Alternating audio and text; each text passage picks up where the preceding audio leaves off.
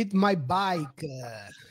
Giovedì, e scusate, sono ancora con col vecchio, col vecchio live. Siamo martedì, fine, fine settembre, 28 settembre, e siamo qua di nuovo a parlare di, di bicicletta. Bicicletta, passione, e, questa volta abbiamo, abbiamo con noi per la chiacchierata di routine Roberto De Osti, detto il capitano, ovvero colui che, che gestisce eh, il timone della barca dei Folletti Verdi. Benvenuto Roberto e un applauso per te, complimenti. Buonasera a tutti e grazie intanto di avermi invitato. Ci mancherebbe. Dici un po', Roberto, una passione per le due ruote, una passione che poi durante la chiacchierata andremo a scoprire e a conoscere più nel dettaglio, però una passione che ti ha portato a fare chilometraggi importanti, quindi competizioni eh, su tracciati di oltre 2000 km, giusto? Quant'è il, il massimo raggiunto? Eh, per, per, ora nel 2018 ho partecipato alla Race Across the France, eh, 2600 km. E, l'avevo fatta una ultra, è una ultra cycling, poi si può scegliere di farla con o senza supporto. Io avevo, avevo partecipato senza supporto e così eh, era una garetta a 2600 km, boh, quasi 40.000, 30.000, 40.000 di dislivello, non mi ricordo. Beh, oddio, lei, lei definita una garetta, ma proprio una garetta, insomma, mi, non, non, non, ce la vedo come, come descrizione. Eh? Io mi descrivo sempre la maglia nera quando capita di parlare con, con, amici così che hanno una passione per le ultra distanze, soprattutto competitive. Io mi definisco sempre la maglia nera dell'ultra cycling. Eh. perché comunque sono una persona normale che gli piace mettersi in gioco e, eh e quindi, e quindi così. Allora, a parte che eh, forse la maglia nera proprio non lo sei perché vediamo che è una maglia verde, ma dopo ci spiegherai un attimo bene il, il cos'è quella maglia verde, che, che, simbolo rappresenta e soprattutto cosa rappresenta. Ma com'è iniziata la tua passione per la bicicletta? O meglio, tutti da piccoli hanno avuto la bicicletta, però da qui ad arrivare a fare quello che hai fatto te, ce ne passa di chilometri su quelle ruote, no? Allora, beh, da piccolo comunque avevo una gran passione per la bici. Purtroppo la salute non era dalla mia parte, quindi fino ai 14 anni si può dire che non ho praticamente praticato nessun sport. E poi successivamente ho scoperto che mi piaceva di più far festa che, che, far, che far fatica e tra disastri, avventure, gogliardate non sportive, ah. in qualche maniera sono arrivato ai 25 anni. Io da quando ho 19 anni faccio l'agente di commercio, quindi adesso un po' meno, ma soprattutto un po' di anni fa si correva molto di più in auto, quindi stavo sui 70.000 km all'anno in macchina.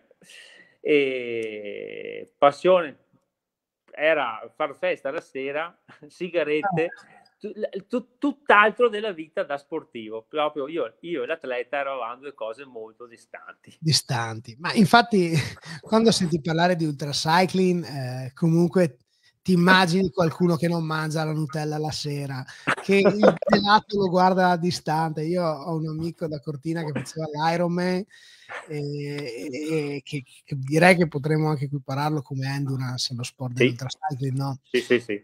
Stava attento alla pizza, un altro che, che quando gli chiedevo ma, ma, mangi mai una pizza? Una all'anno, sì. e quindi insomma ecco, quindi il tuo inizio è stato un po' diciamo particolare. Il mio inizio, fa, ti dico che ho una gran litigata con un cliente eh. a Treviso, sono entrato allo Sportler e di colpo di matto così sono uscito dallo, da, dal negozio di Treviso con una bicicletta, una mountain bike rossa. Eh.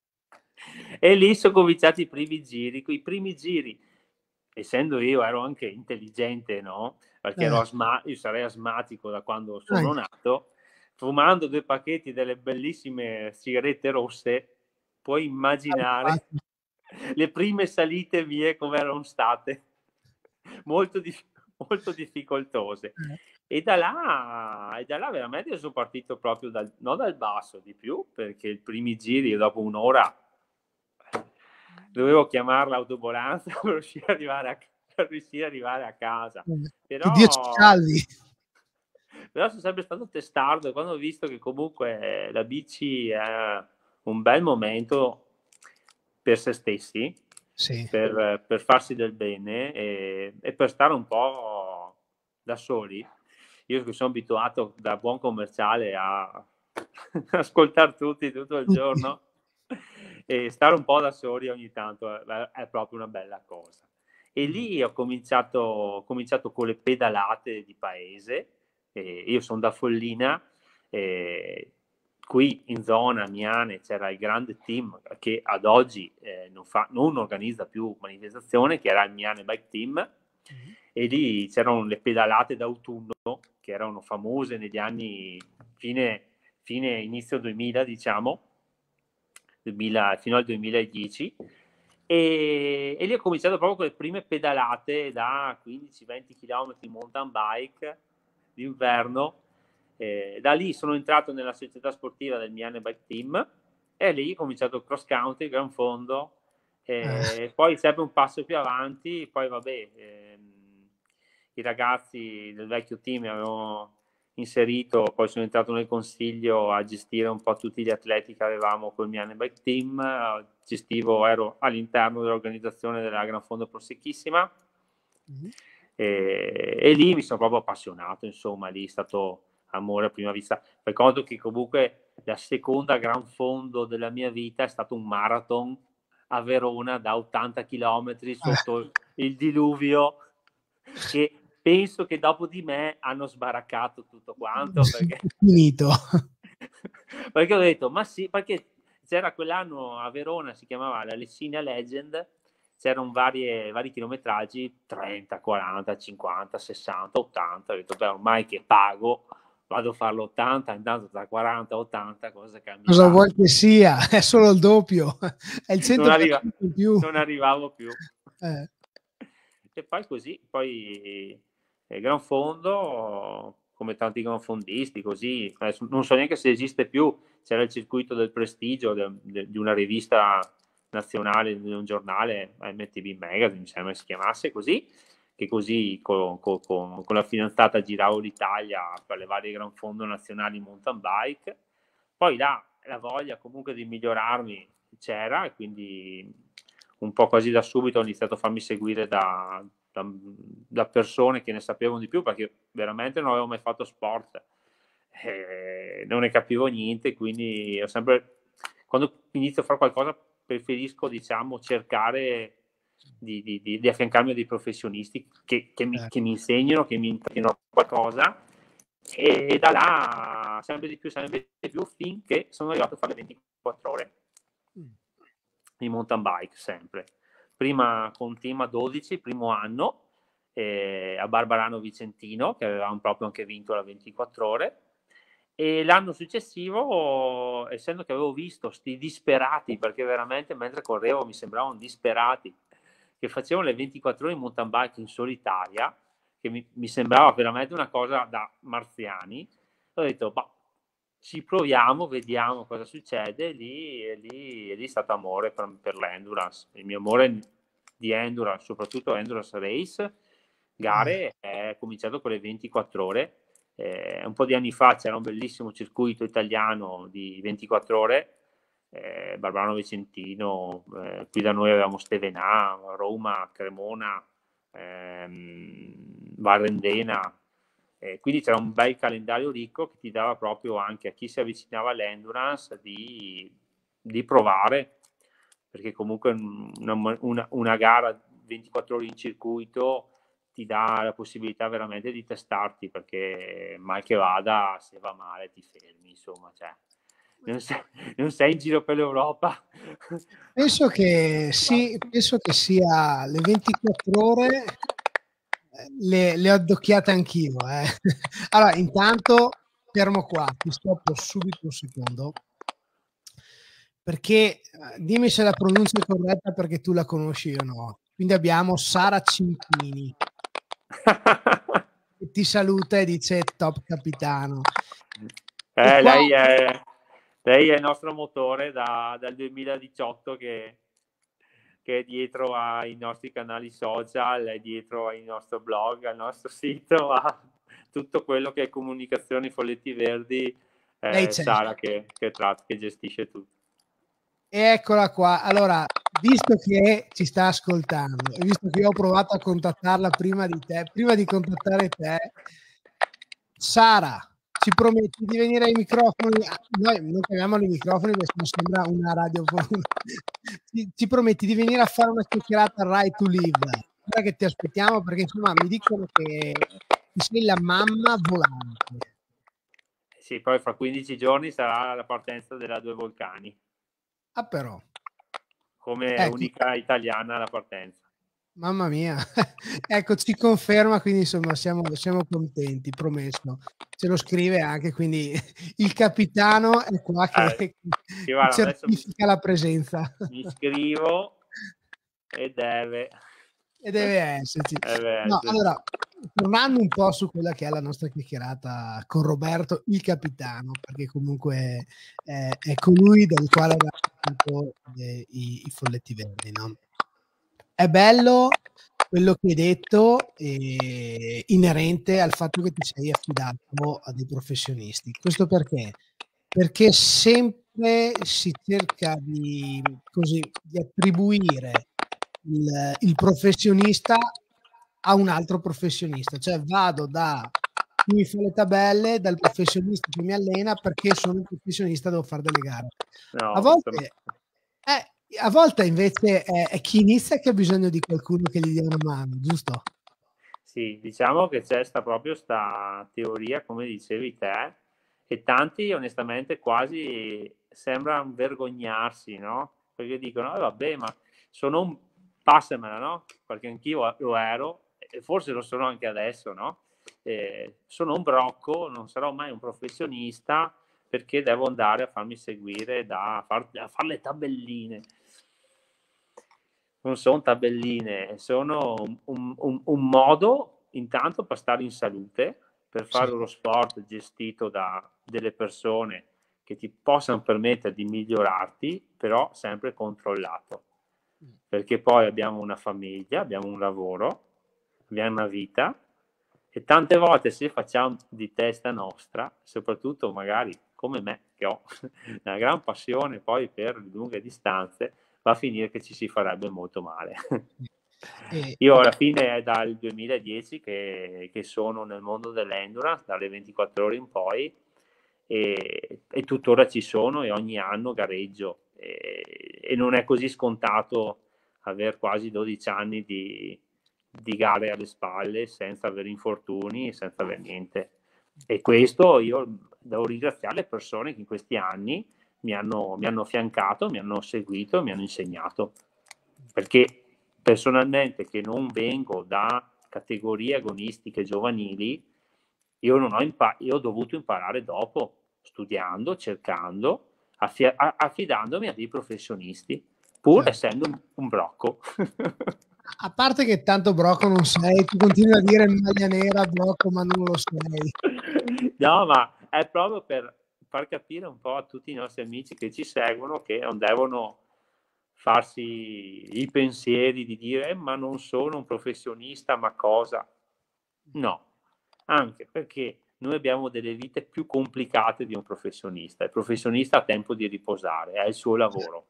Giusto. Noi abbiamo tutto il resto, che è riuscire a incrociare soprattutto una persona che vuole avvicinarsi al mio mondo, che vuole provare una volta, due volte, ha un sogno, ha un sogno, un obiettivo e, ha bisogno, e vuole arrivarci con tutto il tempo che poi bisogna che, a dedicarsi per arrivare a certi obiettivi, è bene farsi seguire da una persona per, per la propria salute, per star bene, per fare le cose come devono essere fatte, insomma. Hai detto una cosa. E ti dico in questi anni ho visto tante persone, amici, che hanno avuto vari infortuni da, da sforzo eh, perché non è sempre detto che far sempre di più vada, bene, vada bene, insomma. Questo è il mio pensiero. Hai detto una cosa veramente eh, bella, no? Che comunque, soprattutto chi inizia, spesso si fa prendere la mano, perché c'è l'entusiasmo, c'è la novità, c'è il bello, c'è la testa che viaggia, i sogni che si realizzano e, e come scrive anche Sara, poco tempo tanto nel fatto di farti seguire. È proprio, è proprio l'aspetto di appoggiarsi, come nel momento in cui costruisci la casa, non vai dal panettiere, vai da chi fa quello. Quindi nel momento in cui vuoi iniziare un tuo percorso, ovviamente i rischi sono tanti, c'è il sovraccarico d'allenamento, c'è, c'è gli infortuni, ci sono tanti aspetti che la persona, il professionista che ti segue, ovviamente cerca di prevenire, cerca di farti accedere a questo mondo nel migliore dei modi. Un'altra cosa che, di cui hai parlato da 24 ore, no? queste competizioni che così sto cercando un po' di adocchiare, anche se purtroppo vedo che ne sono rimasti due o tre. purtroppo, purtroppo anche per noi, ti dico, eh, sono rimaste purtroppo poche e, ehm, e in questo momento non organizzate come, come, come vorremmo. Perché comunque una 24 ore di base, ti dico, è un, un evento eccezionale per avvicinare le persone che non conoscono anche l'endurance perché può essere anche un momento di festa. Vedi un po', non so, le 24 ore di Feltre con le squadre, mm. che conosci benissimo, eh, eh, deve essere così da 24 ore, quindi un momento goglia- anche gogliardico, dove se, se, uno vuole può sperimentare qualsiasi cosa, spingere il suo fisico e la sua testa al massimo, quindi pedalando tutte le ore, o come eh, giri, ti fermi, stai con gli amici, musica, compagnia. In questo momento questo non c'è. Eh, ci sono qualche 24 ore, però qualche 24 ore in Italia, soprattutto su strada, eh, però impostate completamente a livello agonistico, quindi prestazione pura e basta. I livelli alti. Secondo... Sì, però alla fine non avvicini le persone e alla fine partiamo sempre in, in quattro gatti. Eh, prima il vecchio circuito, soprattutto le 24 ore di mountain bike, curava molto le squadre, curava molto i singoli, e soprattutto chi voleva avvicinarsi a queste, a queste avventure. In questo momento noi siamo, ogni anno aspettiamo oh, gli eventi della Wembo, che è questa mm, sigla internazionale eh, di, di, che gestisce il campionato del mondo 24 ore mountain bike e il campionato continentale europeo, che per noi sono i due momenti clou per la nostra società. Eh, noi quasi ogni gli ultimi anni, quando c'è stato, siamo, abbiamo sempre partecipato a questi eventi. Quindi siamo andati in Slovacchia, siamo andati in Cecoslovacchia, siamo andati in Portogallo. Eh, il prossimo anno il mondiale Wembo sarà a finale Ligure, sempre di mountain bike parlo.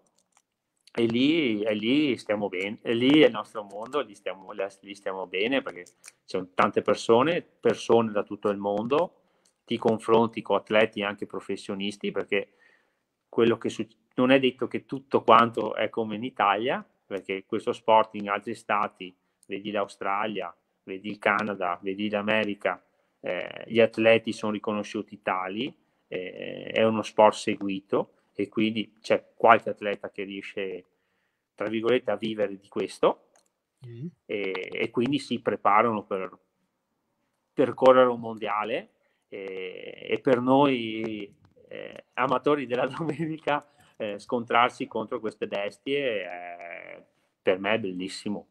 Poi, è un Park.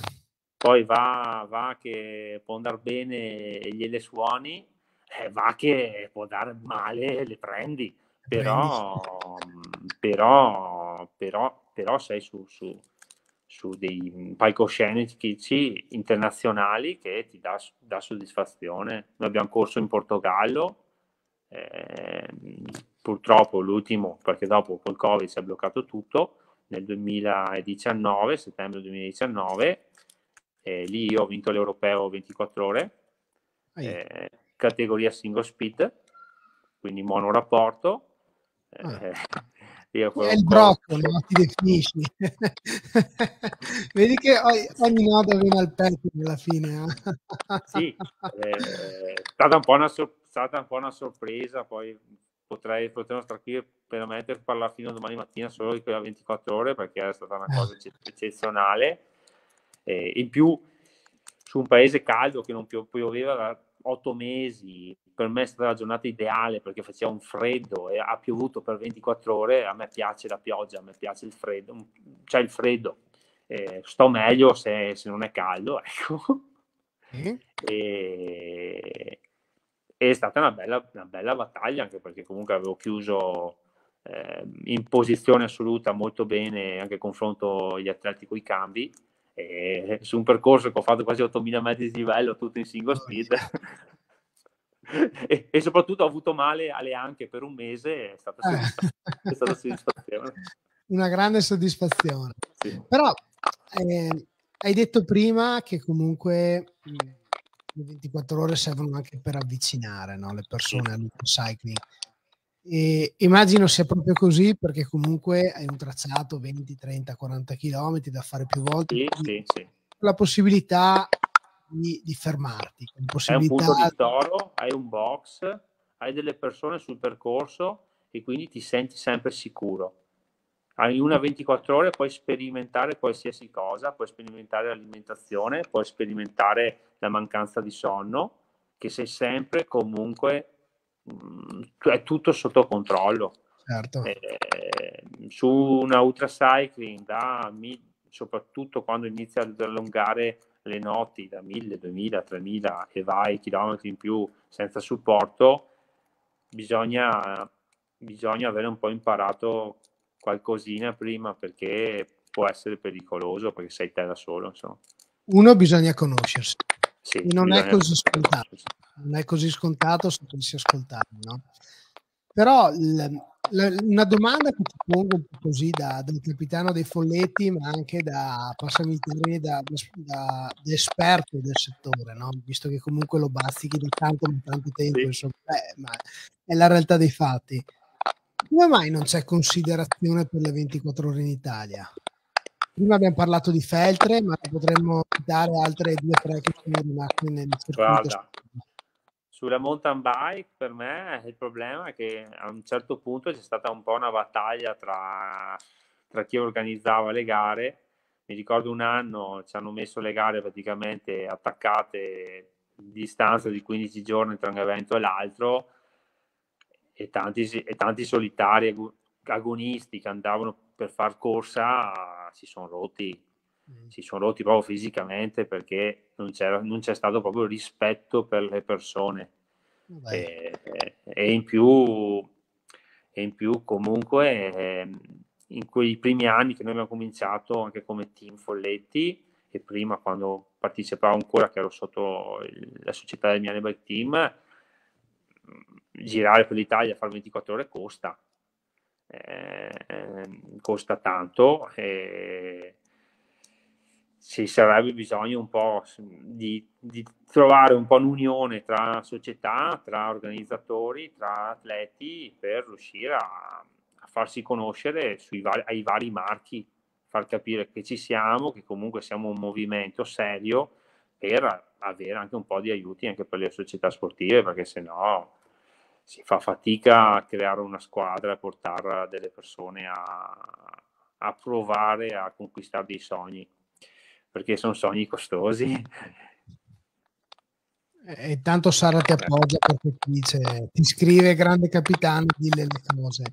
Ma eh, ha, ragione, ha, ragione, anche Sara, no? A volte forse non si dicono le cose, a volte non si è sinceri e magari anche con la paura forse di, così, di far arrabbiare qualcuno piuttosto che offendere qualcuno. Però insomma, sì. penso che le C'è cose un... vanno dette soprattutto da chi la per me, per me l'ho vista proprio che manca proprio il confronto tra persone, società sportive, organizzatori e, e, poi, e poi sai benissimo che il mondo endurance e le varie federazioni si ricordano solamente di noi quando, quando c'è da fare il tesseramento delle società inizio anno.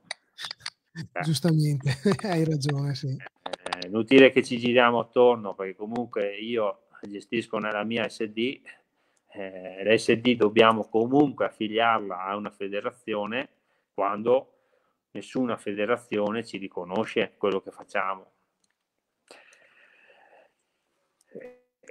Eh, ed è, hai, detto, hai detto un qualcosa di pesante, ma, ma di È inutile che ci nascondiamo, insomma.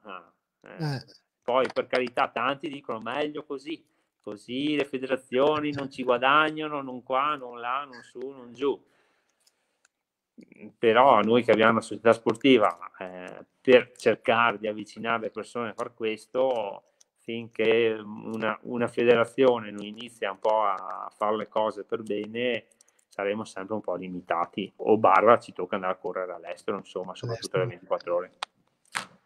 Hai visto che adesso la grave è entrata ufficialmente? No. Sì, io sono molto curioso e spero almeno che, che non creino delle gran fondo, ma siano un po' come in America i classici 200 miglia, quindi 300 km, giusto? Eh. Che secondo me se fanno così per noi sarebbe già un, qualcosa di positivo e ci interesserebbe onestamente il circuito, il circuito UCI grave. Eh, infatti lo, sto 2000... tenendo, lo, sto tenendo, d'occhio per i, perché poi abbiamo qualche giovane ragazzo in squadra che è veramente una testa, un fisico che quei, loro sognano avere un calendario così, insomma, cioè meriterebbero veramente questo, meriterebbero questo.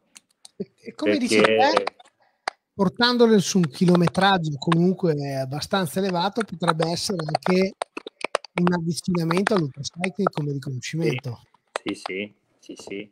Poi logico che eh, 300 km non è un 3000, però eh. non è neanche a 150 km, bisogna comunque imparare a gestirsi e in più su un, un terreno sconnesso, ghiaioso e così 300 km sono sempre 300 km fatti eh, in gara a ritmi importanti. Mm. Eh, eh, eh, sarebbe già un, un, qualcosa, insomma. Poi stiamo a vedere un po' come organizzeranno gli eventi qui, che no, ecco che chilometraggio. Cioè, noi come Folletti Verdi sogniamo le gare race gravel americane, quindi 200 miglia. Ma la speranza, come si dice sempre, è, è l'ultima a morire, no? Quindi sì. che, che stia di buon auspicio è con l'inserimento. Eh sì, perché poi non so se, se segui ogni tanto anche le manifestazioni americane, dietro in questo momento i vari marchi stanno, stanno, stanno spingendo parecchio, mm. eh, stanno investendo parecchio.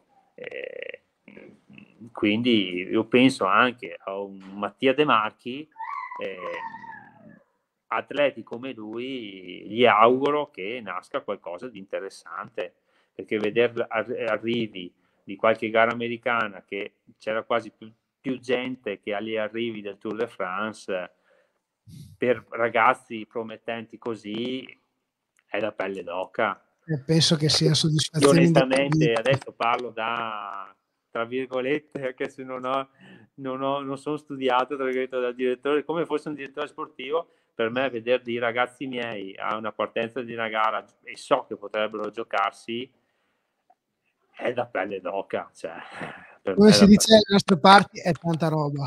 sì, tanta roba, tanta roba. Fai conto, Noi abbiamo un ragazzo da Pesaro, eh, ha partecipato a una gara austriaca quest'anno che si chiama Race Across the Alp, 450 sì. km, 14.000 metri, chiusa in 24 ore. Eh. Eh, è tanta roba. e, quindi, e, quindi, per quello che tante volte io mi, tra virgolette, mi arrabbio, non, non vedo le cose che stanno andando verso qualcosa di più concreto perché, perché non penso solo a me e alle mie corse. Eh, io vedo anche altri ragazzi che meriterebbero qualcosa di, di più tutto l'anno. Di più. Infatti Sara ci scrive Lucchino. Eh sì. Lucchino è questo ragazzo. Sì, sì, sì, sì. Eh, ragazzo di 24 anni, non mi ricordo mai quanti anni ha, vabbè, perché quasi quasi non mi ricordo neanche quanti anni avevo io.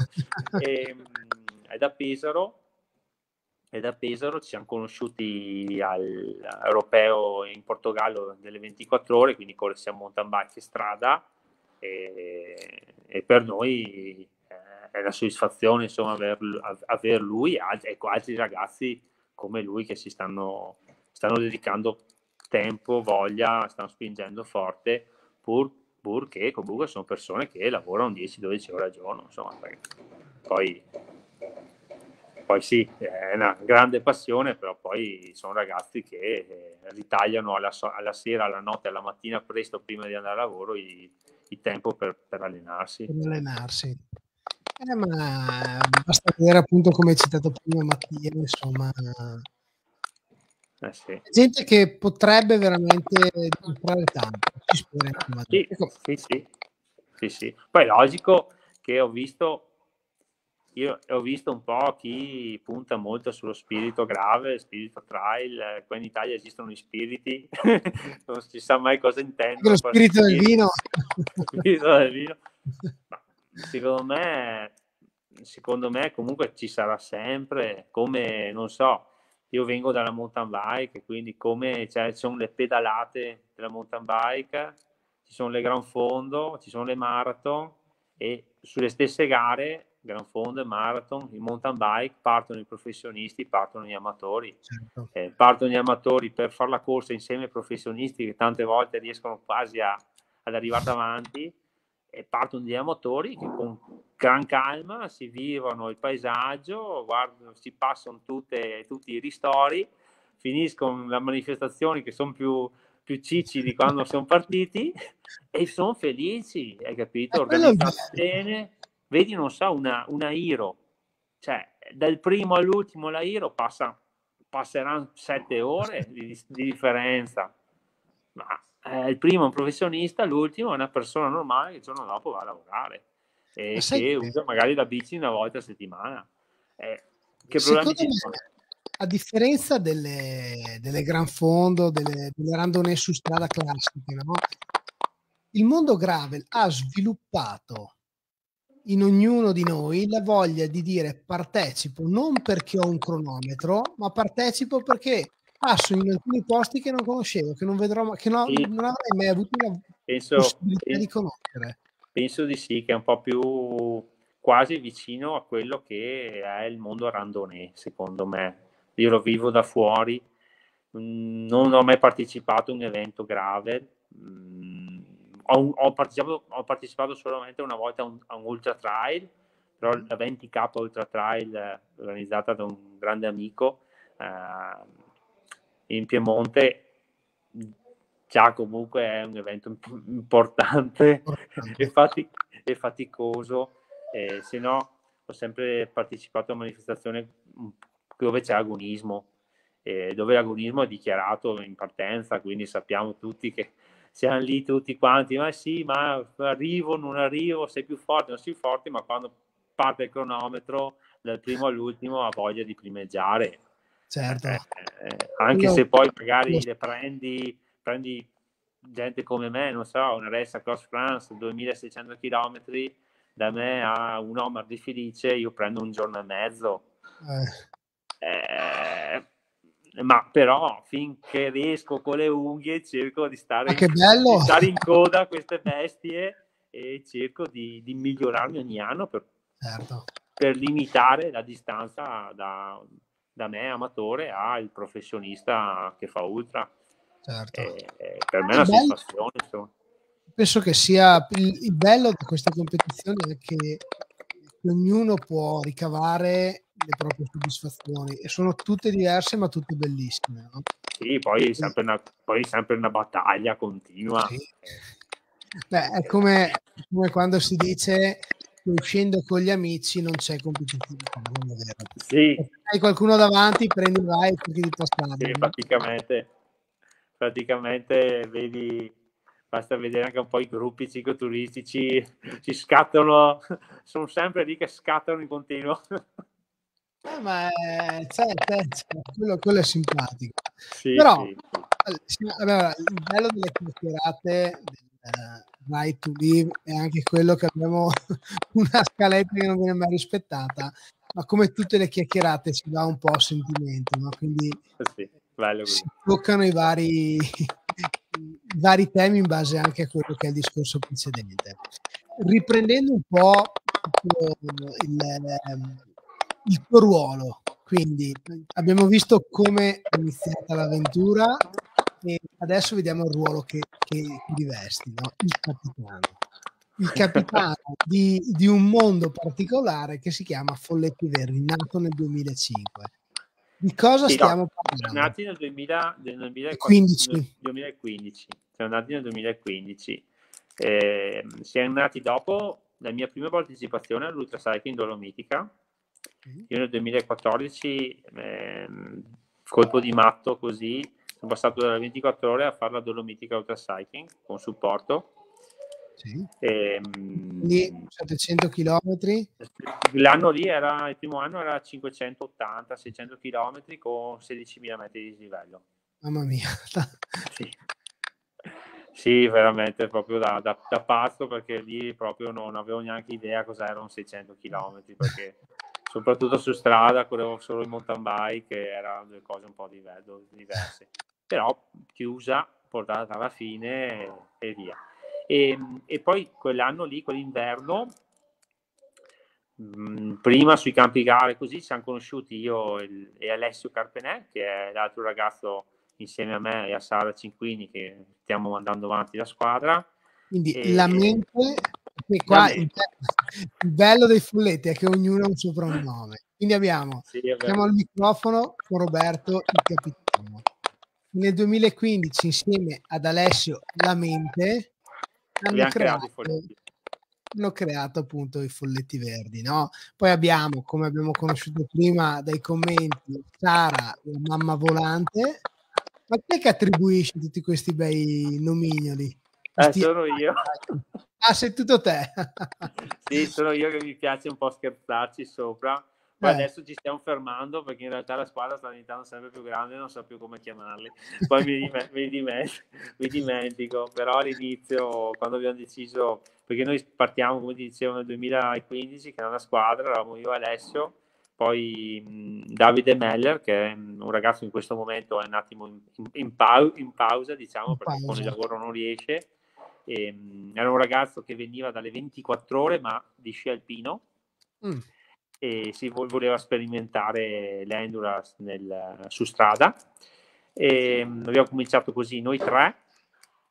All'inizio non ti nego che la volontà iniziale era un po' riuscire a mh, aiutarci, creare una squadra e, e, come ti dicevo, fare ultra cycling costa soldi, tanti, soprattutto se partecipi come facevamo all'inizio, perché non esisteva proprio in Italia la categoria senza supporto, era solamente con auto a seguito, quindi vuol dire un'auto, vuol dire portarsi delle persone, minimo 3-4 persone che ti, che ti seguono, come un cronometro dei professionisti, no? Solamente, solamente che a posto di durare un'ora, magari dura giorni.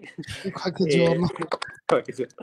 E, mh, e però i costi aumentano, quindi avevamo creato un po' una squadra, abbiamo cominciato con le pagine social, qualche, qualche sponsor che da subito ci ha creduto, che tuttora, che tuttora ci, ci aiuta e ci, ci segue. E, mh, e poi gli anni, gli anni successivi, poi io e Alessio ci siamo guardati un inverno abbiamo detto, boh, eh, vabbè, eh, abbiamo corso, abbiamo fatto le nostre corseine, siamo contenti e felici, eh, ma siamo sicuri che tutto questo sforzo di aver creato una squadra fra un anno, due ci stufiamo o fisicamente non, non possiamo fare una gara per mm. il lavoro, per rotture, così cosa siamo? Siamo solamente in due e lì, e lì abbiamo voluto iniziare ad aprire le porte un po' a chi ci sembrava che aveva il nostro stesso spirito e nostro, le nostre stesse motivazioni. E allora sono arrivate, è arrivata Sara, è arrivato Mauro, eh, sono cominciati ad arrivare altri bei ragazzi e, e per, per, noi è stata tanta soddisfazione, insomma, perché poi tutti quanti, noi ci aiutiamo tutti quanti, abbiamo tante idee, cerchiamo un po' di, di condividere. Eh, poi ti dico, siamo una squadra che facciamo fatica di, a vederci fisicamente, perché comunque noi un po' di zoccolo siamo qui nel Veneto perché tra Vicenza, Quattreviso, però poi non so, la Sara ad esempio abita nelle Marche, abbiamo dei ragazzi in Emilia Romagna, eh, da quest'anno eh, fa parte del nostro gruppo Walter Di Cesare che è un forte ultra trailer eh, che è da Roma, eh, abbiamo delle persone verso Bormio, veramente siamo un po' in gi- pochi magari, ma in giro per l'Italia. Però siamo sempre in contatto ogni giorno. E poi è bello anche quando andiamo a fare le nostre gare, che alla fine sono sempre, siamo sempre soli, insomma, perché poi ognuno ha i propri sogni, ha la voglia di provare una manifestazione a posto dall'altra, anche perché, come dico sempre ai ragazzi, le nostre corse prima si fanno con il cuore. Se uno no, non crede in quello che sta andando a fare, non puoi andare perché uno ti ordina di fare 2000 km. Eh, almeno per noi che, no, che, non è il nostro lavoro. Eh, devi crederci perché se no i chilometri non... Poi sei lì che pedali, sei te che pedali, no, non è non è lo sponsor, non è la squadra che pedala, sei te che pedali. Sì. E, quindi, e, quindi, poi noi è bello perché poi quando siamo in corsa comunque siamo tra Whatsapp e così, eh, è sempre, per me è come che avessi sempre la squadra tutta presente ah, quando sono in corsa. Ah. Perché, non so, magari vai in crisi, non trovi la fontana d'acqua, c'è subito il compagno che guarda la mappa, ti trova la fontana d'acqua, poi c'è il Mauro che che il nostro Vicentino che gli piace la meteorologia, quindi stai attento perché domani alle 4 c'è il temporale. e le nostre corse sono, sono, sono eh, così. Bello. Sì, la nostra bello. forza è la squadra, pur essendo sempre dei singoli, certo. perché poi in realtà eh, in corsa siamo ah, soli. Insomma. Passami il paragone, no? è come è come, è come uno sport comunque vissuto singolarmente, ma supportato dalla forza della squadra. Sì, sì, sì, sì. È simpatica cosa, molto sì. bella. Eh, fa famiglia anche, no? Sì, sì, noi, molto, noi cerchiamo molto famiglia, infatti, infatti per quello tanti magari ci chiedono voglio entrare in squadra, chiedono si può, non si può, sì, si può, cioè, eh, i Folletti Verdi sono aperti a tutti, è un progetto che speriamo che vada avanti nei prossimi anni, da avvicinare sempre più persone, però di base deve esserci un po'... deve, deve scattare qualcosa, cuore. sì, deve esserci tanto cuore, perché comunque eh, sicuramente magari la persona molto individualista da noi non, non starebbe bene, perché poi... Mh, quando i nostri compagni sono in squadra sono veramente tutti quanti vicini con, col pensiero, con un messaggio, con un audiomessaggio, con un aiuto. E, e quindi non c'è una prima donna qua. Cioè, no... Certo. C'è una donna, la mamma, basta. sì, abbiamo la mamma. la mamma volante però povera ha già, così tanti figli, poi lei ti racconterà, cioè, non penso che ci voglia anche noi come figli. no, quindi... guarda, io capisco il tuo discorso del cuore perché eh, porto avanti eh, lo stesso discorso in un'associazione che si chiama Oltre Team, no? il cui motto, nato nel 2015, è se andiamo oltre e ci mettiamo il cuore, i nostri chilometri possono avere un senso. Eh, l'ho letto più volte, mi piace molto, infatti. E quello è proprio lo spirito perché possiamo avere chilometri, possiamo avere tem- tempi, ma se manca la passione, quindi il famoso cuore, eh, diventa una corsa contro il tempo, diventa una cronometro. Sì, sì, sì. Eh, però ecco, Sara mi dice che c'è anche Bea, quindi... Cosa? Sara mi dice che c'è anche Bea. Ah sì, sì, sì. Sì. Non è sola, dai. Questo... No, no. E, po- e, poi abbiamo anche la figlia, ah, non lo sa ancora, ma abbiamo anche la figlia di Sara. Ah, però Sara non lo sa. Veronica, è Veronica che non lo sa, che ufficialmente è, un, è una folletta. Eh, molto bene, molto bello. Ma dimmi una cosa, quindi nascono i folletti verdi. Sì però esce, esce l'hashtag anche Folletti Avventura. E allora, l'anno scorso, l'anno scorso volevamo un po' aprirci un po', perché, mh, mm, forse un po' anche sai, dal periodo di Covid e via dicendo, perché comunque eh, pianificare questi due anni un calendario decente è stata, è stata veramente una guerra, perché poi le gare saltavano ti scrivevi, saltava una, e anche per i ragazzi stessi era difficile. E quindi, sai, poi noi siamo tanto famiglia, si sentivano, tra virgolette, brutta questa parola, attenzione, ma in obbligo, eh, mm. perché vedevano che non riuscivano a fare niente, però gli dicevo, è così, è il periodo per tutti così, dal lavoro alla vita, purtroppo dobbiamo prendere quello che, quello che arriva giornalmente. E allora lì abbiamo creato un po' mh, Folletti Avventura, un po' più libero, un po' più distante dalla gara, eh, anzi non c'entra proprio niente con quello che, con quello che facciamo. Eh, aperto a delle persone che vogliono magari avvicinarsi, che oggi, in questi due anni, mh, mm, non, vogliono comunque viverci più da vicino, vedere un po' quello che facciamo, come lo facciamo però in quel momento il cronometro non gli interessa, insomma. Certo. Eh, poi abbiamo un esempio di, di, un, di un, ragazzo, eh, Tiziano, che è iscritto come Folletti Avventura e poi è finito a fare delle gare di Endurance Tour, che sono queste gare di sei ore in mountain bike. Eh, sicuramente, sicuramente perché vedo che inizia a chiederci sarà al mondiale Wembo a finale Ligure a maggio prossimo anno e, e è soddisfazione perché poi sì, mm, mm, lui non, neanche, neanche immaginava insomma di, di, di, di, mettersi in gioco insomma poi e poi è venuto tutto un po' da sé. E allora questo foglietto avventura qui era un po', un po' anche per avvicinare anche delle persone che, che non ci vedessero proprio mh, mm, come dei ragazzi che guardano solo tabelle, preparazione e così. Alla fine siamo persone normali che eh, abbiamo voglia solamente, abbiamo questo gran stimolo di migliorarci, di, di metterci alla prova in continuo su eventi importanti, però siamo aperti a tutto, insomma. Bello però, vedi come vedi quanto è importante l'esempio di chi hai davanti dall'avventura arrivare comunque a diventare un follettore proprio. Quindi e, e penso che sia grazie comunque al team e, e, grazie alle persone che lo animano.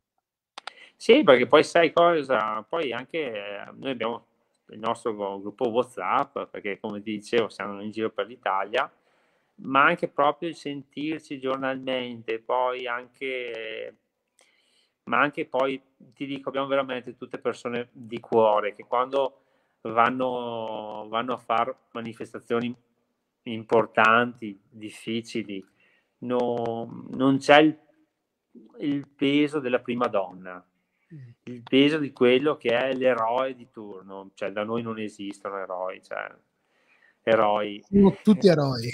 Eroi, eroi fanno un'altra cosa, non vanno in bicicletta. Volano. Questo qui è il nostro, gio- è il nostro gioco da, da bambini grandi.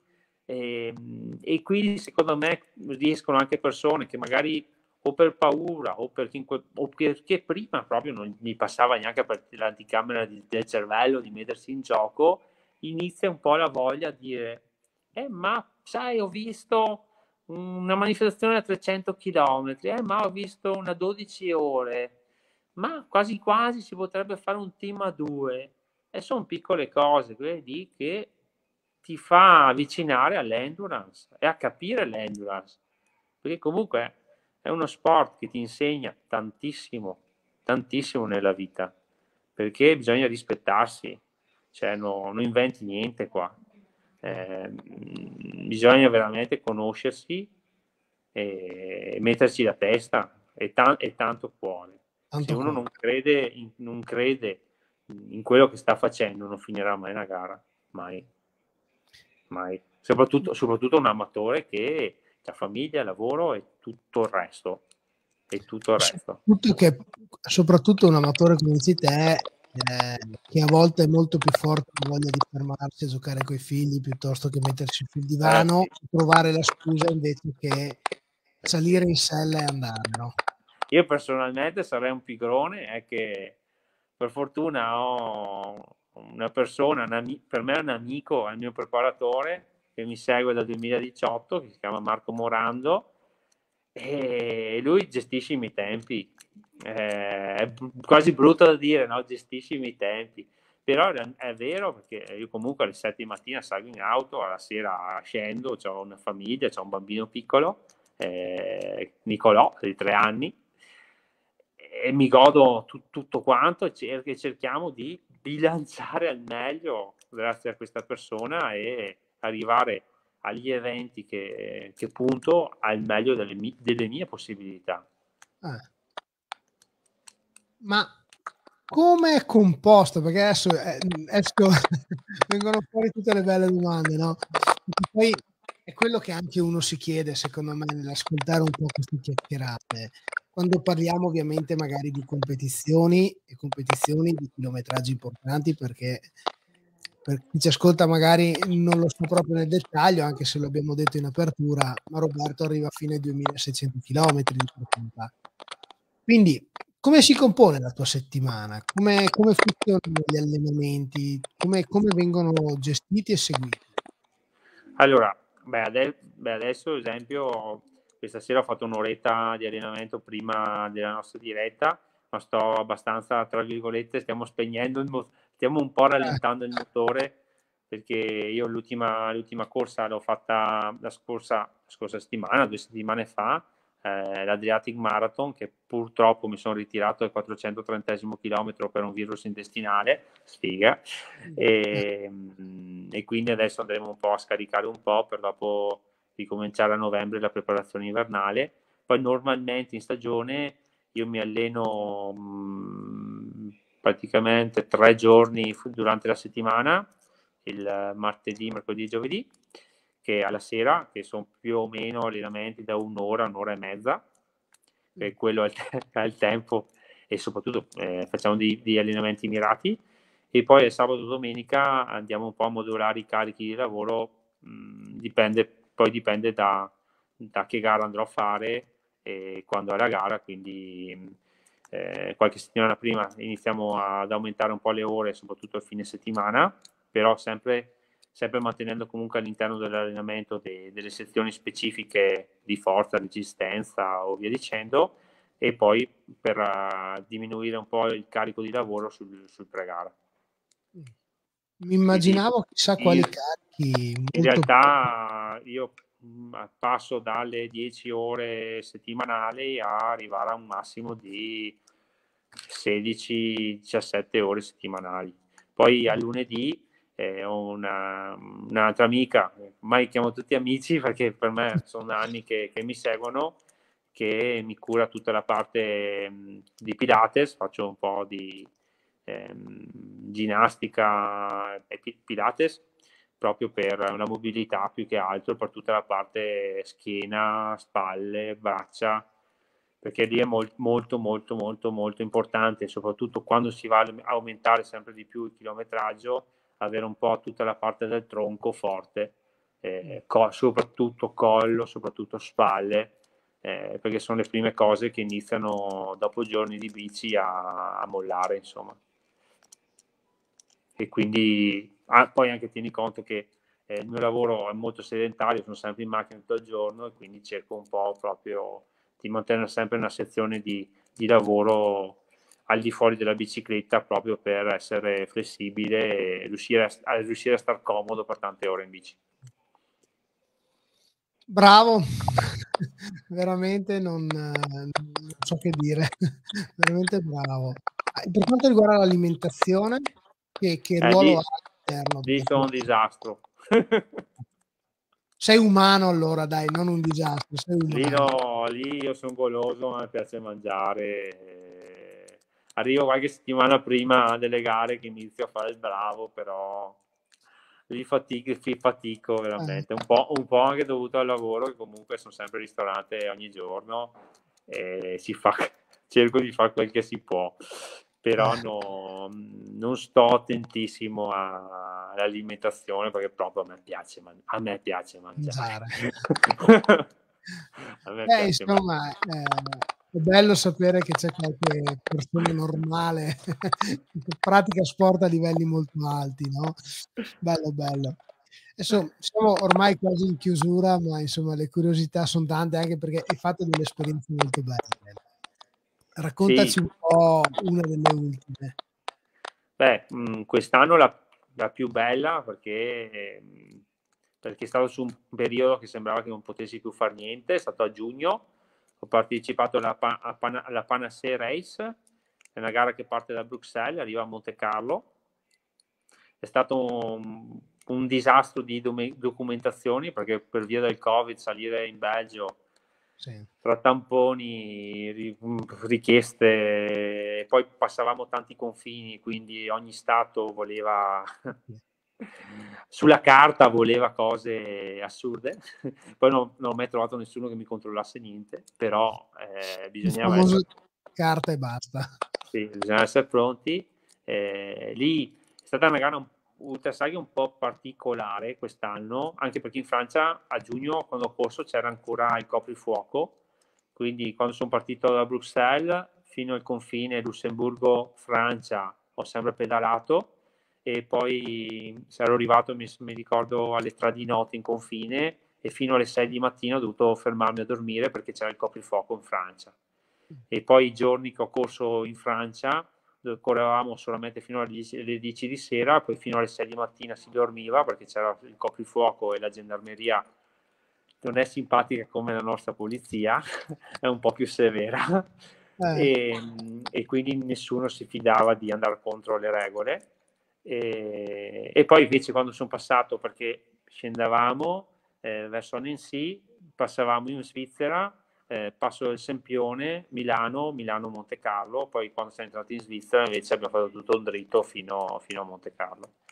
E, è una bella situazione, comunque ho chiuso, chiuso anche al quinto posto, eh, però non è il posto, non è il tempo che ci ho messo, ma la soddisfazione perché venivamo proprio da un periodo che stava saltando qualsiasi cosa. Perché io sono da due anni che sto preparando una gara molto importante, quasi la gara della vita, eh, che è una manifestazione che parte da Capo Nord e va a Tarifa in Spagna. E sono 7000 km, è il mio sogno. È un sogno che ho cominciato... chilometri sì, ho cominciato a prepararlo prima del Covid, poi, poi sappiamo com'è andata e quindi spero, ma ormai sono quasi sicuro, insomma, perché adesso i confini sono riaperti, i problemi a circolare no, più di tanto non dovrebbero più esserci e spero il 20 giugno 2022 a mezzanotte, che è la, il giorno più lungo eh, a Capo Nord, eh, in teoria se non mi succede qualcos'altro, dovrei riuscire a partire, insomma. Mamma mia. Beh, bravo, facci sapere perché seguiremo col, col fiato sospeso veramente. Eh sì, il mio sogno è chiuderla dentro i 21 giorni. Poi in questo momento, dopo tutti questi due anni che continuo a guardarla, guardarla, a me basterebbe riuscire a partire da Capo Nord e poi quel che viene, viene perché Anche perché poi organizzare famiglia, lavoro, tutto quanto è la cosa più stressante, più difficile in realtà. Immagino perché mettere insieme tutto. Sì, perché io cioè, non, non, ho, non, non, so cosa vuol dire staccare dal mondo per tre settimane, non, non ho più, proprio la più pallida idea. E veramente per me è quasi come la gara della vita perché so che mi prendo questo, questo grande jolly da, dal lavoro, dalla famiglia, da tutto e penso sarà... che forse sia quella la vera gara, no? Il riuscire a staccare. Sì, sì, sì, sì. Poi hai sto sogno di vedere tante cose perché da Capo Nord a arrivare alla Spagna vedrò, vedrò il mondo. Eh, mi piace, insomma, poi bello. Poi comunque gli dico sempre a tutti che la gara non è difficile perché a Capo Nord a, a Spagna è tutto a sud, quindi sta tutto in discesa. Parliamone. Ce lo racconterai una volta che l'hai finito col sorriso dicendo no, eh, ma è semplicissimo ragazzi. Eh. Eh, lo spero, veramente, no. Eh, lo spero. Ma allora, il, il, Griso, Alessandro Grisotto ci ha sempre detto che, che lui dorme dentro i bancomat. Lui dorme? Dentro i bancomat. No, eh. scusate, un, mi, mi, riferiscono c'è un piccolo gracchiare sul mio microfono. Eh sì, ogni tanto fa un po' ritorno, non so se è la mia eh, linea. Eh, non, non, non, so, non, non, mi dispiace, ma non, riusciamo a risolverlo. Comunque, Roberto, dov'è che dorme durante le competizioni di i giorni? E quanto dorme? Allora, allora, Roberto prima di diventare papà non dormiva. Eh. Quindi vuol dire che io in Francia su sette giorni ho dormito otto ore. Mamma mia. Come fai a gestirle? Eh, vede, vede, vedevo le mucche volare, ti dico. Ah, a livello di allucinazioni penso che sia una cosa bellissima. Sì, eh, era stata prima veramente il mio limite era molto più in là. E quindi facevo veramente microsonni, ma i microsonni veri, quindi 15-20 minuti. Eh, ho trovato una posizione mia che è un po' rannicchiata a terra, con una mano tengo la bici e in due secondi, in due secondi dormo. E prim, prima, finché non, è, non, finché non è nato Nicolò, io correvo così. E poi invece diciamo che in qualche gara ho rischiato un po', un po', un po troppo e adesso mi sto, ho deciso che comunque ogni giorno devo fare le, le, le, mie pause almeno di un paio d'ore devo, quando il momento che la gara supera le 50 ore un paio d'ore al giorno devo dormirle e, e lì, lì, lì, dipende no? Eh, dipende dove sono dipende cosa trovo perché può essere che mi sento tranquillo sereno dormo a fianco alla strada buttato a terra senza problemi come se sono su una zona che psicologicamente non mi sento a posto, entro sul primo bed and breakfast o quello che trovo su Booking in quel momento, eh, entro l'ora, mm, mi faccio le mie cose, dormo su un letto e poi riparto. E via. Tutto dipende da, dal percorso, da dove, da dove sono, insomma.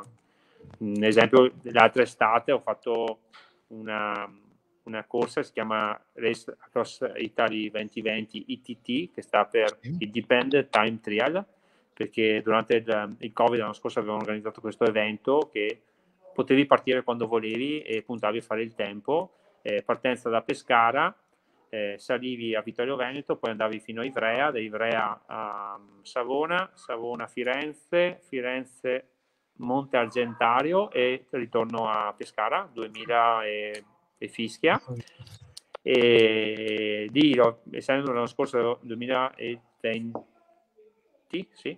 Eh, l'ho fatta la settimana di, di, Ferragosto, che faceva un caldo assurdo, io odio il caldo, e andavo al pomeriggio sulle ore più calde e l'ora e mezza andavo a dormire, un'ora e mezza, due, andavo a dormire nel primo hotel che trovavo, col climatizzatore acceso, insomma, proprio massima comodità.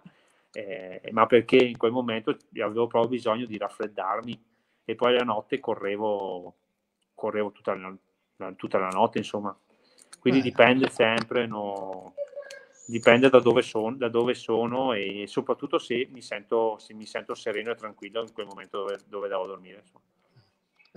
ti, ti, fermo un secondo perché Gianluca Roversi eh, scrive un commento e dice belle queste interviste questi super atleti sembrano persone come noi no? no ma io sono come noi non sono super atleta ma il, no, il, il bello del right to live non lo ripeto tutte le volte ma ogni tanto ci sta no? il right to live with my bike è proprio il vivere pedalando con la mia bicicletta, ma perché? Perché con la bicicletta posso andare a incontrare vede- e, e, e intervistare, chiacchierare con persone che sono persone semplicissime, persone come tutte noi che a un certo punto hanno deciso di cambiare la loro vita. Sì, ah. io sono l'esempio. E questo è il bello, no? Quindi Gianluca... passavo i fine settimana in discoteca fino a 25 anni, quindi figurarsi. Gianluca, il bello è proprio questo, no? Perché il, il, bello di queste chiacchierate è lo spunto, e il primo spunto è per me, per prendere esempio e provarci, perché comunque sì. è sempre tempo di provarci, no? e quindi sempre. arrivi a un certo punto che dici basta. Cioè, Roberto fa 2000 km e non esco a farne 50.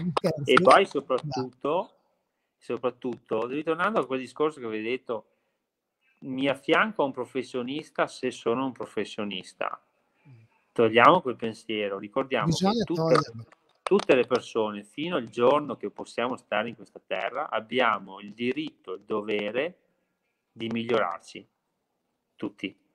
Possiamo migliorarci in continuo. Non c'è mai, non c'è un, un'anagrafica che ti dice non puoi più migliorarti, smettila, siediti per terra, stai zitto. Cioè, no, zitto non niente. Esiste, non esiste, non ma infatti che noi dobbiamo migliorare il, il, nostro momento. Adesso a 37 anni avrò una performance, potrò farle, posso fare delle cose. Quando ne avrò 60, che magari non lavoro neanche più, forse andrò anche meglio. Avrai, avrai endurance più elevato? Sì. Così dicono, no? Che in ogni, tempo... in ogni momento abbiamo tutti quanti, possiamo tutti quanti migliorarci. E questo è vero, questo è, è una filosofia. Che, però io mi metto dalla parte di Gianluca riprendendo un po' il commento che ha fatto, no? Quando sei sul divano con la tua Coca-Cola, che ti mangi un panino alla Nutella, che ti guardi un bel film e poi ti dicono: Ma sì, che Roberto ha fatto 2600 km. Poi, io non ci riuscirò mai, no? e quel io non ci riuscirò mai, secondo me è la molla che deve farti scattare il ma sì. ci posso provare.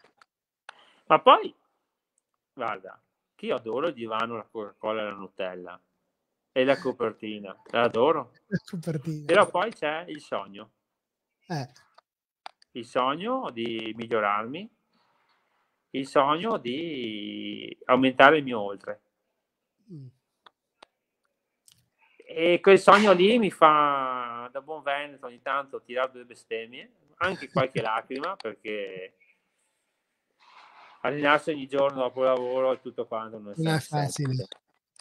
E... Io domani ho la sveglia alle 5 di mattina perché alle 6 sono in macchina, no?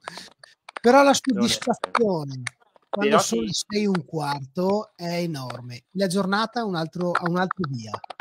Bravo però la fai perché dici devo c'è qualcosa di là del lavoro, di là siamo qua per fare qualcosa tutti quanti secondo me, non siamo qua solo per, per certo. lavorare, far soldi e mangiare e respirare. Quindi è il, crederci nel sogno. Right nel to sogno. live. Sì. Il, il famoso right to live che riprendiamo con questo Bello, bello, veramente purtroppo il tempo, siamo andati oltre l'ora, come dico sempre, come dico sempre, la 20 minuti, mezz'oretta, ma insomma è sempre bello e, e, poi, e poi sogni, perché mentre ti sento parlare dal prossimo anno potrei provare, No, veramente bello Roberto, è, è bello, però una promessa non è che venite a pedalare nel, nel bellunese e come i verdi così facciamo magari un'uscita di gruppo per far sognare tutti noi un giorno di poter essere la condivisa. Eh, dobbiamo, dobbiamo organizzarci e si può fare, sì. vi aspettiamo. Quello, poi, poi, noi abbiamo anche un partner proprio bellunese sì. che, che, cura un po' il turismo sulle nostre Dolomiti, che fa sede proprio a Busche, che si chiama Wild, Wild Dolomiti, che è lì proprio al punto ristoro della Latte Busche. Ah dai, eh, vedi che allora avete una piccola radice del bellunese. Però ritornando adesso, perché poi ci salutiamo, ma intanto vengono fuori tante cose. Abbiamo parlato che non ci sono le 24 ore, e purtroppo stanno un po' abbandonando il mondo delle 24 ore. Eh, ma perché non create eventi per sensibilizzare le persone all'endurance? Scusa che mi è andata via la linea. Perché, perché, non, perché non, non, sensibilizzate le persone voi con degli eventi per, per conoscere cos'è l'endurance? Eh, diciamo che la voglia c'è di, di, creare una qualcosa, noi abbiamo delle idee sulla testa. Eh, lasciatemi dare a, a tariffa e poi ne parliamo. Bon, allora, vai veloce, torna veloce, mettici poco perché se no abbiamo voglia di scoprire queste, queste idee, quindi ci teniamo. Sì, sì, no, le idee, le idee le abbiamo e sono sicuro che arriverà il momento che comunque qualcosa Macchiato Folletti Verdi nascerà come, come evento e col nostro spirito e come, come vorremmo noi. Beh, non ha detto che sarà una 24 ore, può darsi sia qualcosa di meno, però un, un evento endurance comunque sì. Proprio, Bello. proprio per avvicinare le persone. Proprio per avvicinare le persone.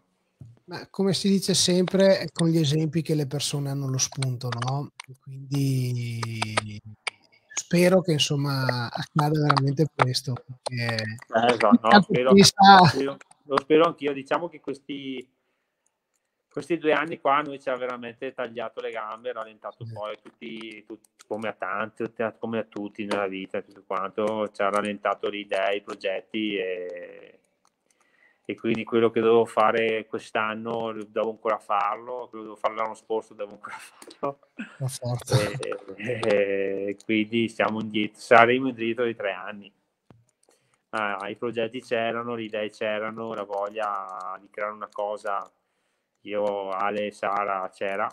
E in questo momento dobbiamo chiudere un po' dei sogni nostri personali eh, per, per, per, poi pianificare bene le cose, perché per creare un evento oggi, secondo me, bisogna metterci la testa e mettere un attimo da parte i propri, i pro, le proprie ambizioni per, per creare qualcosa per, per gli altri e ci vuole ci vuole tempo e fare le cose fatte bene. Inutile vuole, buttarla lì, insomma. Tanto tempo sicuramente, però un ritorno che è un qualcosa di, di grandioso, secondo me.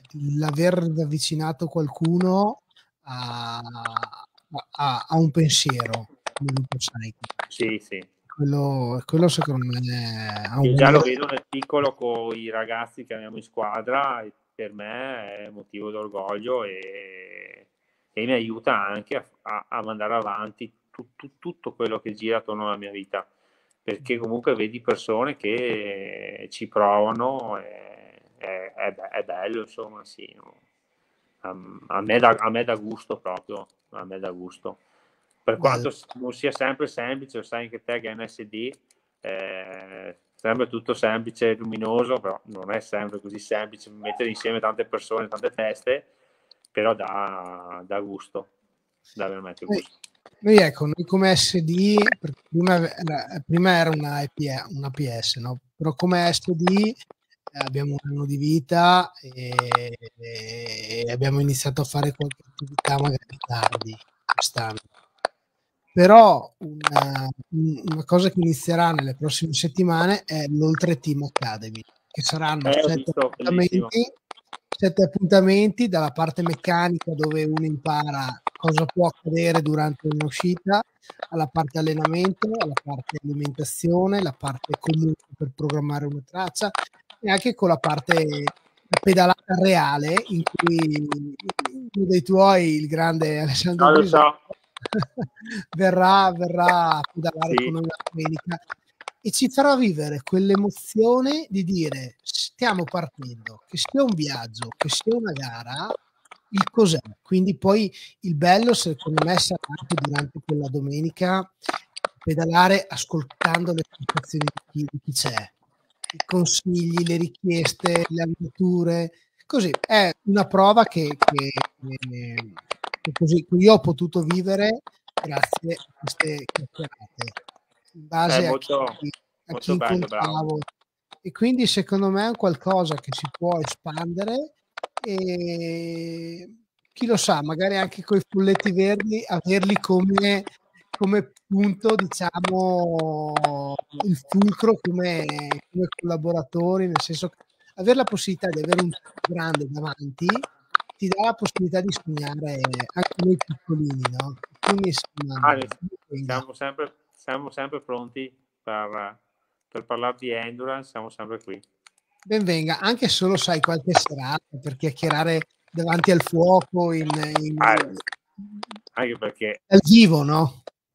Eh sì. poi, poi noi abbiamo il nostro buon Mauro che ha di quelle soppresse. Eh. Pa- parlano da sole quelle.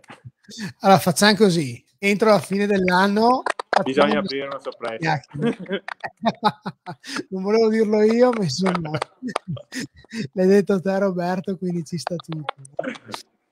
Bene, dai, allora una promessa è quella che, che organizzerete una pedalata nel Bellunese. Quello... Sì, sentiamo e, e vediamo. Quello volentieri. Di, di, di organizzarla volentieri. proprio. L'altra promessa è che convinci Sara a venire a chiacchierare una sera. Vabbè, mi sono già segnato, dopo la, la sua due vulcani, deve venire a raccontarvi la sua stagione. Insomma. È stata, una bella, è stata una bella, una bella stagione di soddisfazioni fino adesso. Anche perché Sara quanti figli ha?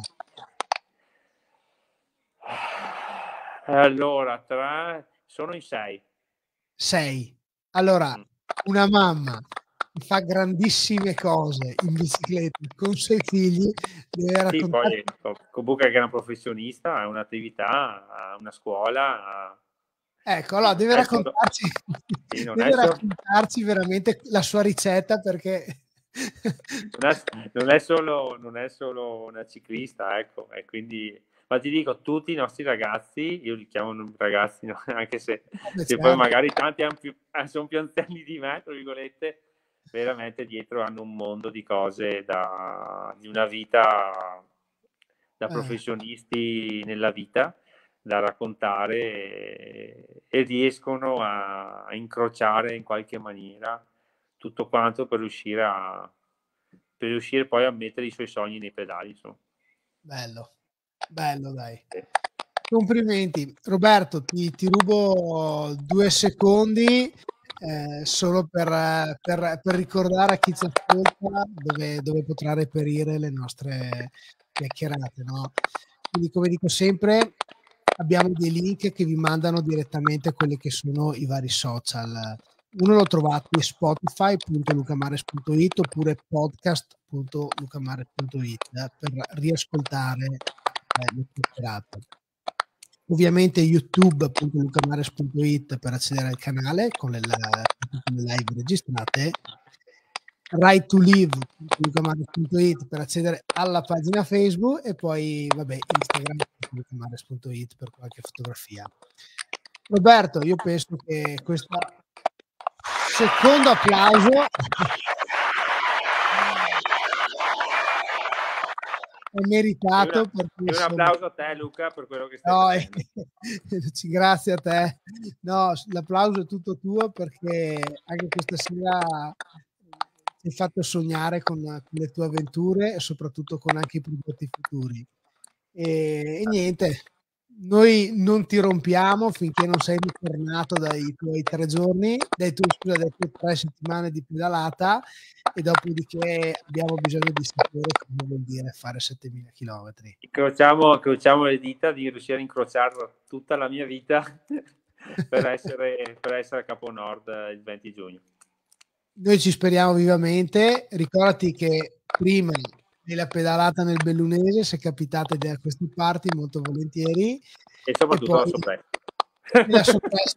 Entro fine anno noi ci contiamo, eh? una bella chiacchierata seduti al tavolo, secondo me, aperto ovviamente agli amici che vogliono venire a sentire insomma cos'è l'ultra cycling e come viene vissuto in maniera bella e col cuore. Quindi tu organizza che noi ci siamo, ok? Ottimo. Roberto, grazie, grazie mille, mille, e una buona serata. Buona ciao serata. a tutti. Ciao, ciao, ciao a tutti.